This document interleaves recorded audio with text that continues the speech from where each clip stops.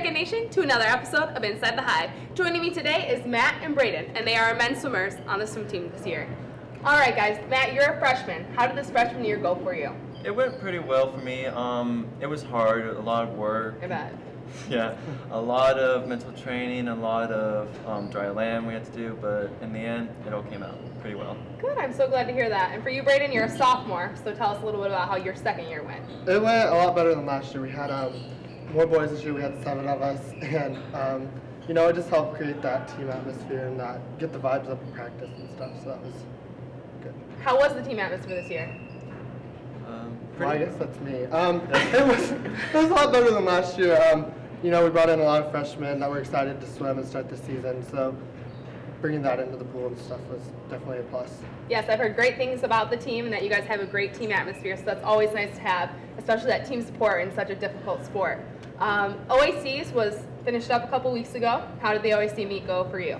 Um, individually, um, we had a lot of great swims. Um, I know I had some lifetime best swims, and I know a lot of people on the team did.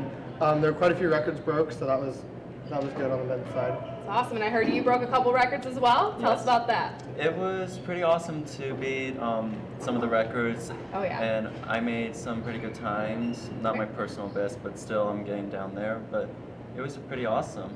And what's your main stroke? Fly. Fly, and that is a very difficult stroke. Yes. Been there, done that, most definitely. Well, good for you, and good for you too. Um, I'm glad you guys had a great season, and we look forward to a lot more. All right, thank you. And up next are the women of the women's swim team. Here with me is Tabitha and Jackie of the women's swim team. All right, welcome you two. And you guys finished up great this season. Um, you guys finished at the OACs. But before that, I want to talk a lot about, a little bit about how your season went personally. So, Jackie, how did your season go? Um, it went really well. I had some great swims, swam better during season, had a great OAC.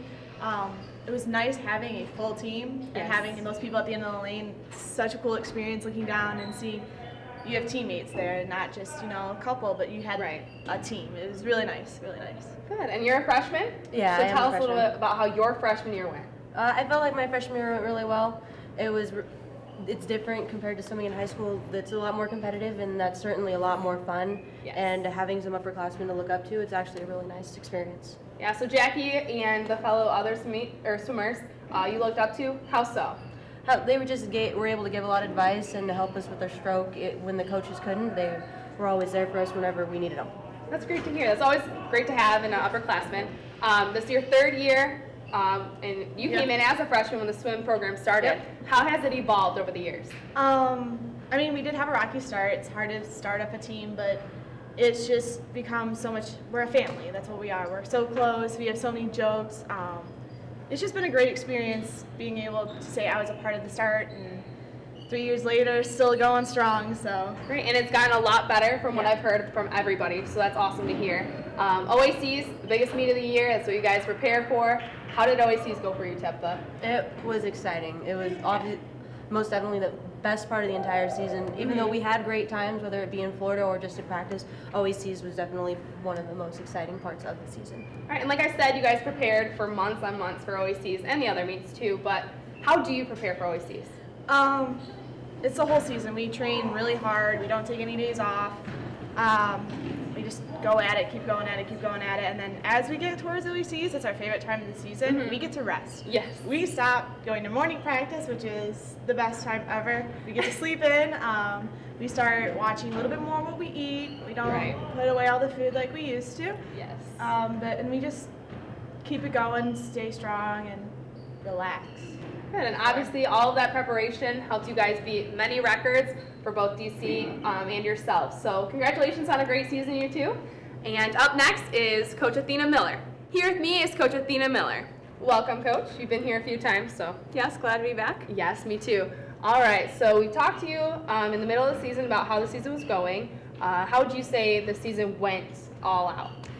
Um, I really don't think I could have asked for a better ending. Mhm. Um, the kids really worked really hard all season long. Um, the dedication paid off. Um, they were willing to step it up and kind of do some of those harder practices that were asked of them, and then when the taper time came and we got to rest and took those morning practices off, they came to OACs with some fire and it really showed and the record board shows that as well. Tell us about some of the records that stuck out in your mind because you guys had about 15 and a lot of personal bests too. Which one stuck out in your mind? Um, I would say one of the most exciting ones to watch um, were definitely the relays. The relays are kind of always cool to watch yeah. go down and watch the um, swimmers be able to go up and stand on the podium. Um, I think one of the other neat ones is Matt that you saw earlier in his Right. 100 and 200 fly. He swam really well.